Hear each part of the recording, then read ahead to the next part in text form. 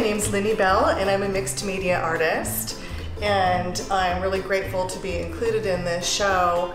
The door is a functional sliding door, and that's representative of the sliding door moments in life where we all have an opportunity to make a choice, and that choice is going to alter our destiny. The other side of the door is a male figure, and he's in fetal position, and that is representative about being authentic and living our truth and acting on our truth and being brave enough to do so. The doves that are flying above him are representative of hope and the chance at a new life and are encouraging him to rise to the other side of the door, which is awakening and enlightenment. It's kind of speaking more broadly on humanity and the human condition, and that's kind of my interpretation and my statement that I wanted to make.